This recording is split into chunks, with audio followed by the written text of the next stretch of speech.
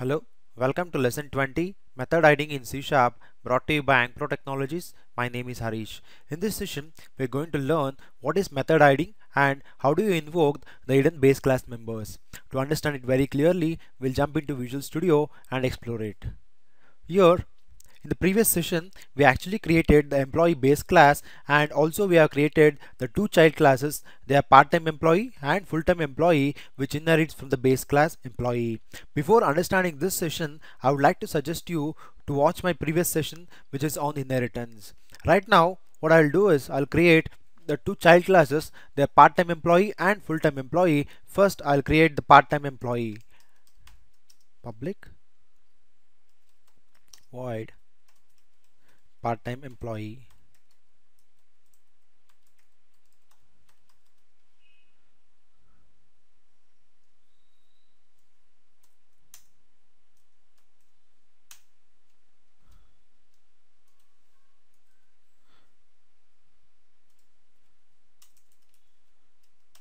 This is part-time employee is a class. And similarly I'll create another class. Just copy this and I'll paste. And this is full-time employee. Keep in mind both these classes will inherit the base class that is employee. Now how to do inheritance? It's very simple. Just place the colon and call that base class which you're going to inherit. Similarly for this also employee. Now what I've done is I've created the two child classes. They are part-time employee and the full-time employee and I've inherited the base class employee to them. Now what I'll do is I'll create we'll just explore the base class first. In the base class we are having two fields their first name and last name and also I'm having a method print full name which will print the first name and last name when assigned. What I'll do is I'll create an object of the part-time employee and full-time employee. We'll just see the output, how it executes. Right now, I'll come to the main method. Now I'll create a object of part-time employee. Part-time employee. I'll take object name as PTE or caps PTE is equal to new part-time employee keep in mind child class is a specialization of the base class or the parent class. So child class uh, can access all the properties and methods of the base class and also it can also it can call the method in in its own class also. Also it can call the method or the properties in its in its class also. That is the specialty of child class. Now what I'll do is I'll create an object of create an object of child class. Then you can see here child class can access all the properties of the base class that is first name last name and print full name. When first I have to take the first name then I have to assign a value to it. I'll do it as Ankpro Technologies. Ankpro for the last name I'll give it as technology. PTE dot last name is equal to technologies now also I'm having a method which will print this first name and last name. I'll call that method also print full name. What this print full name as design as how this print full name have to work that is designed in the base class itself. It has to print the first name and last name. Now once I've done with this I have to create an object of full time also. How do I do that? It's very simple. I'll just change his name here. It's full time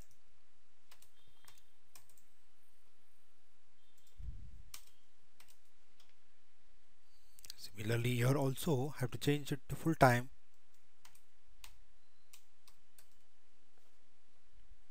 And I'll change spelling mistake. Then I'll copy this and I'll paste it here. Everywhere where the PT is there it's replaced with that. Similarly this also calls all the properties and the methods in the base class and I'll change this to technology but I'll change it to training just to see the difference. Now when I, what I've done is I'm, I'm having two classes child classes part-time employee and full-time employee and to this child classes I have inherited a base class that is parent class employee to them. And since child class is a specialization of base class it can access all the properties and the methods present in the base class. Now what I'm doing I'm creating an object of both the child classes and I'm accessing the properties and the methods in the base class and I'm printing them. When when I run this program you can observe the build has started it's printing. Once I'm done with this I can see the message called Ankpro Technologies and Ankpro Training on the command prompt window. This is how the inheritance works. You can observe here my file is being scanned. Let's wait for that once it is done you can observe it is printed Ankpro Technologies and Ankpro Training this is how the inheritance works. But my objective is and my goal now is I want to print on the since the part-time employee is on the contract basis I want to print whenever I run this program it has to print like the first name and the last name of the part-time employee ended with the contractor it is something like I want output in this format. This is the full-time employee and this is the part-time employee. Since he is hired on the contract basis, it has to print hyphen contract at the at the last of the Ankpro training. So how to do this? It's very simple. What I'll do is I'll just copy this method and I'll paste this method in the part-time employee and what I'll do is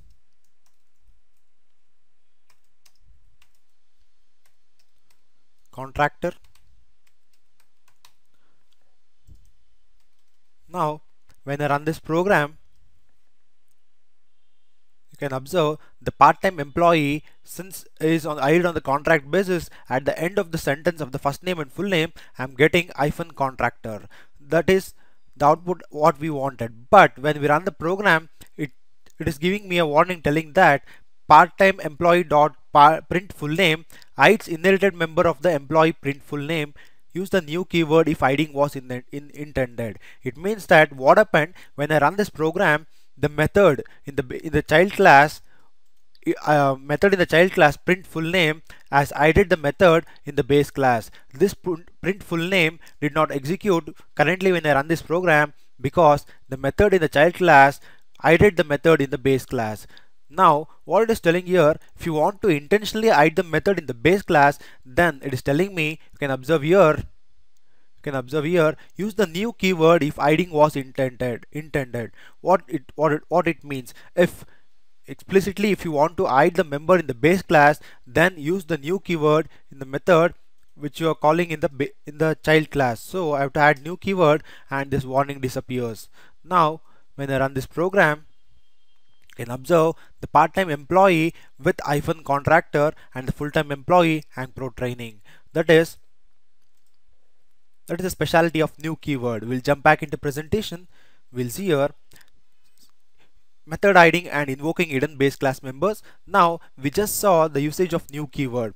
Now use new keyword to hide a base class member and that what that's what we did in the Visual Studio now. And if new keyword is missed compiler warning will be given. That's what we resolved here. When we just remove this new keyword it just gives us a compiler warning telling that if you are intentionally do hiding that method then just use the new keyword. I'll do that work for you. That what that's what the new keyword tells us. Now we'll jump back in now we'll do control Z and new keyword is essential. And we'll jump back into presentation. Now now what we are done we have added the method in the base class member in the base class in, in the child class sorry in the base class. But now I want to invoke that hidden base hidden base class member from the derived class. How do I do that? It's very simple. I'm having so many options here. I'll use I'll, I'll just show only the three ways to do it. Using the base keyword first we'll explore it. Now the objective is I want this method to be called in the derived class method. How do I do that? It's very simple. I'll just comment out this sentence. If if you want to call this method, this base class method, which is hidden in the which is hidden when, when I use the new keyword when I want to call this year in the derived class how do I do that it's very simple use base keyword and when I press the dot operator you can see I can access the print full name method now what I'll do. When I do this and I over on this it tells us void employee dot print full name. It means that it is calling the method which is from the base class. Now when I run this program it prints me a message telling that the first name and the last name of the part-time employee that is Ankpro Technologies and Ankpro Training. Now how do I do that? When I run this program you can observe the Ankpro Technologies and Ankpro Training. What actually we did is I'm using the new keyword which hides the member in the which hides the method print full name in the base class. But how do I invoke this hidden base class member in the derived class? It's very simple. I just showed the one way that is call the use the base keyword then use the dot operator. You can access the method which is hidden in the base class that is print full name. That's what we that's what we saw the output. Now we'll jump back into presentation. Here the other way is cast child type to parent type and invoke the hidden member that is we have to do typecasting. How do I do that? It's very simple. Now I'll just remove this and I'll uncomment this also. Now what I have to do is I'll use the PTE object that is part-time employee object. And now I'll use typecast operator and convert that to be of type employee. It means that I'm having this I'm having I'll just remove this. I'm having a part-time employee object. I'll use that. I'm having the part-time employee object. Now I'll use the typecast operator and convert that to be of type employee. It means that I'll use the typecast operator. I'll convert it to employee object. Employee object. Then before that I have to put your brackets sorry I have to do like this.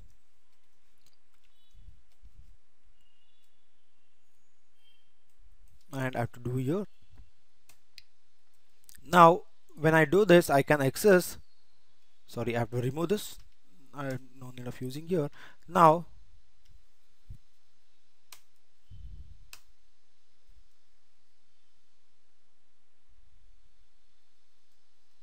what I have to do here is currently I'm having the now how do I call now how do I convert this part-time employee object into an employee object using typecasting? It's very simple. Now what I'll do is I'll call that employee then um, I'll just entangle with the braces this with this class. Then I'll use that PTE object